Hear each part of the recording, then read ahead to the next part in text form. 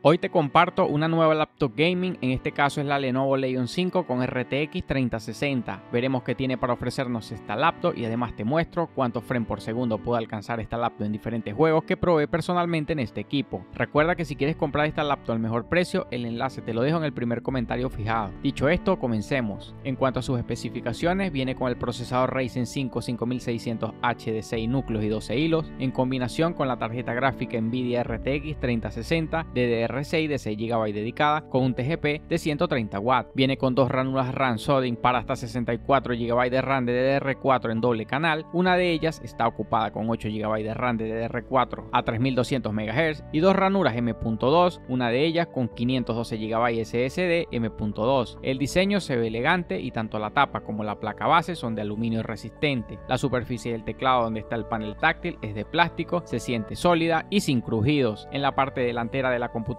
portátil hay un borde agradable que permite una apertura fácil, mientras en la parte superior de la tapa tiene el logotipo de la Legion, el cual se ilumina y se puede apagar si así lo deseas. Tiene unas rejillas de ventilación bastante grandes en la parte posterior, por donde expulsa el aire caliente para mantener el equipo fresco. Su peso es de 2.40 kilogramos, por lo que es bastante ligero. En cuanto a la conectividad, viene con Wi-Fi 6 y Bluetooth 5.1. En el apartado de puerto tenemos en el lado izquierdo un puerto USB tipo C y un conector para auriculares y de 3.5 milímetros. Aclaro que no hay puertos Thunderbolt en esta laptop. Del lado derecho tenemos un interruptor de cámara web. Esto te permite desactivar la cámara por completo por si te preocupa la seguridad. Y un puerto USB tipo A 3.2. Ya en la parte trasera tenemos un puerto LAN RJ45, un USB-C 3.2 generación 2 con DisplayPort 1.4 y suministro de energía. Dos USB tipo A 3.2 generación 1, puerto HDMI 2.1 y un USB A 3.2 generación 1 y el conector de alimentación. El teclado es completo con zona numérica, viene con retroiluminación RGB y el recorrido de teclas es adecuado. El panel táctil responde muy bien al tacto, es suave y preciso. Además tiene un clic satisfactorio. El audio en esta laptop es en formato estéreo y suena muy promedio, que para jugar y ver videos está bien, pero para escuchar música en ellos es mejor usar unos auriculares o unos parlantes decentes. La refrigeración en este equipo es muy buena, consta de un diseño de doble ventilador con sistema de escape de 4 canales, aletas térmicas mejoradas Además hay ventilaciones de entrada debajo de cada interruptor del teclado que ayudan a mantener el equipo fresco. La pantalla es de 15.6 pulgadas IPS con antirreflejo, resolución de 1920 x 1080 píxeles, relación de aspecto 16 a 9, una frecuencia de actualización de 120 Hz, tiempo de respuesta de 3 milisegundos, 250 nits de brillo y cubre el 97% de gama de colores sRGB. Es una laptop muy buena para jugar, para estudiantes y profesionales de diseño gráfico, arquitectura, ingeniería, creadores de contenido que buscan una lap con un gran rendimiento y una buena pantalla. Ahora la batería es de 60 vatios con tecnología de carga rápida, siendo capaz de cargar el 50% en 30 minutos, ofreciendo una autonomía de 9 horas navegando, reproduciendo videos y de 3 a 4 horas jugando. Ahora veremos los frames por segundo que puede alcanzar esta laptop en diferentes juegos y aquí puedes ver los resultados.